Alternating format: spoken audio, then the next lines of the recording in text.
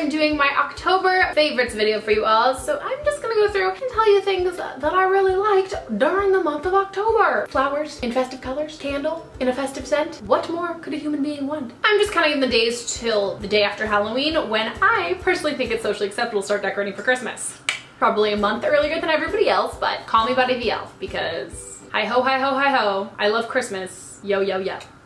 The best way to spread Christmas cheer is singing loud for all to hear. Let's start off with makeup because I don't have any and it's falling everywhere. Fudge! I've got three things, that's six, but three things that I'm wearing right on my face right now. Do you wanna guess what they are? Let's guess. A little bit of snot.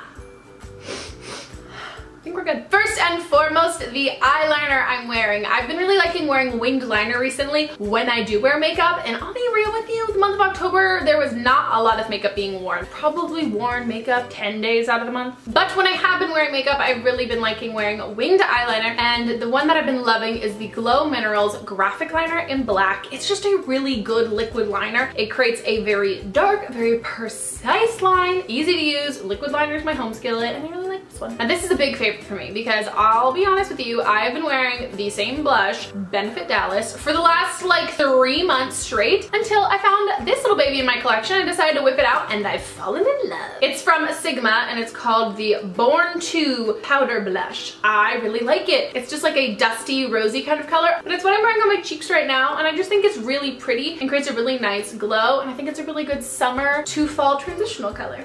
Now onto the lip combo. I've been using my favorite that I've talked about before, Milani Color Statement Lip Liner in number three nude. Woo! And then on top of that, the lipstick that I've kind of blended in with that, like I use my fingers and I get like down and dirty with it all. Probably can tell because my fingers are kind of pinkish. I've been using the YSL lipstick in Rouge Volupte number two. And I'll be real with you, I was pretty sorely disappointed by these lipsticks until I started mixing them with like a matte lip liner and then blending them out because they're so overly creamy that I just feel like I look like made out with a frozen yogurt, which in theory would be great, but in reality, I'm allergic to dairy, so skincare. My skin's been breaking out like crazy, so I have been really loving my Yes to Tomatoes Clear Skin Face Mask. This is just a basic face mask that I really feel like helps clear out my pores, disclog any areas, and I like it. And then I've also been using my anti-redness serum from First Aid Beauty, and my skin's just been really red lately. It's actually been great because it's a serum that really like adds hydration to your skin, but I also feel like it calms my skin down. And it's like simmer the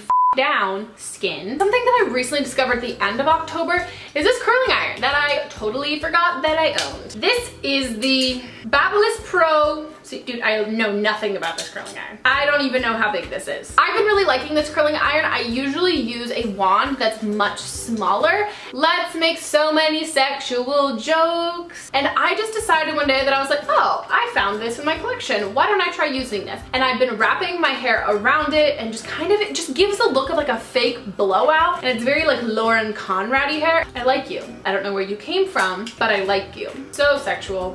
Ladies and gentlemen, it is officially fall and we need a moment for fall candles. This is the first year that I burned through, I think, seven fall candles. I bought so many and I burned through literally almost all of them. I feel, I don't know what I feel like but it hurts to be without fall candles. With fall comes everybody's favorite candle, Leaves by Bath & Body Works. Currently burning one right there, got one here, and I only have two more backups, so naturally, I'm stressing because I need more. I have two favorite fashion items, fashion. I have two favorite, stop! I have two favorite fashion items of the month. The first are a pair of shoes. And okay, no, they're not like one's brown and one's black. I mean, yeah, that's what it's like right now. But I've been liking both pairs. I just brought one of each to example. Do you get what I mean? These shoes are from JustFab and I get so many compliments on them from people. They're like, oh my god, are those Dolce Vita? Like, oh my god, are those Jeffrey Campbell? Where are those from? I'm always like, uh, JustFab, y'all. They go with everything. Either this pair goes with something or this pair goes with something. My last fashion favorite is something that's kind of dorky and very lame and it's the flannel that you guys probably saw in my depression video. The day that I was leaving my parents' house, I was going through my mom's closet and I found this shirt and I used to steal this from her all the time when I lived at home. And so I left her one of my sweatshirts from Brandy Melville and I took this one with me home. And I'll be honest, the week that I got back to LA, I, I think I wore this every single day and I slept in it every single day. It's kind of just like a security blanket kind of thing. So I know my mom wants to steal it back. Granted, I'm pretty sure this was my dad's that my mom stole from him. I don't know, my whole family dresses like a lumberjack. I have two favorite teas this month because tea has been great. Tea is always great during fall. I just am stoked. The first one is the Sweet Harvest Pumpkin by Celestial Seasonings. This is so good. It's so cinnamony and pumpkiny. It's just delicious. It was one of those teas that I tried it again as soon as it was, as it was October and I just took a sip and I was just transported to a different planet. And the other one is the Tazo Chai Pumpkin Spice Tea, which I also am absolutely loving. It's the same thing I do when I usually make tea lattes. I'll just use this with some unsweetened almond milk and it's so incredibly good and I'll add some stevia and it's just like delicious. On to more random favorites, favorite TV shows of the month. TV has been awesome to me lately, maybe just because I've been binge watching a lot of shows, but the month of October, I straight up watched the entire series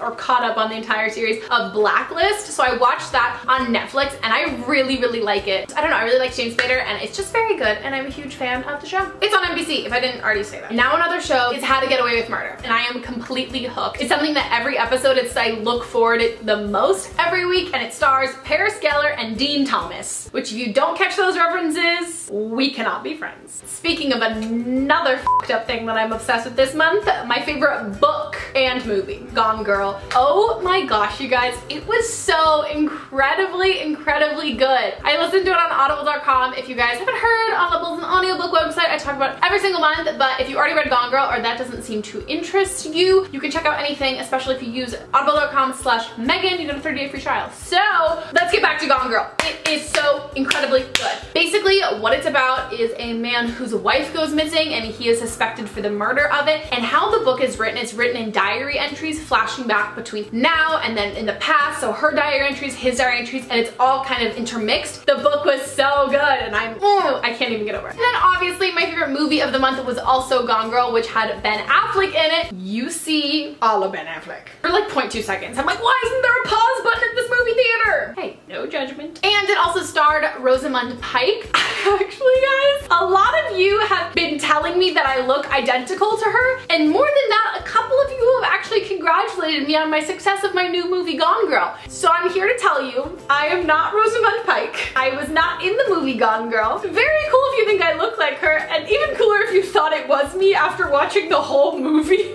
I mean, a couple of people were like, you were amazing! And I was like, you really watched a two and a half hour long movie, looked at that girl, and every moment you're like, yep, that's Meghan Rienks. No. I have two playlists this month that I've been listening to music-wise. The first one is my October Days playlist, and the other one is my Chin Up playlist. The Chin Up one is a little more upbeat and happy, and the October Days is a little more sad and mellow, but it has a song that I'm obsessed with called Salvation by Gabrielle Aplin? Aplin. Gabrielle Aplin. The song was used in one of the recent episodes of The Vampire Diaries, which I'm also loving. And in case you guys did not know, Ben Howard came out with a new album this month, which is absolutely amazing. Have to listen to it. His voice is that of an angel. Ooh, I also like my new iPhone. If you want to see what's on my iPhone, I did a what's on my iPhone 6 video slash how I edit my Instagram pictures. Check it down below. Okay guys, I hope you enjoyed this video. I love you guys oodles and oodles and I will see you all next time.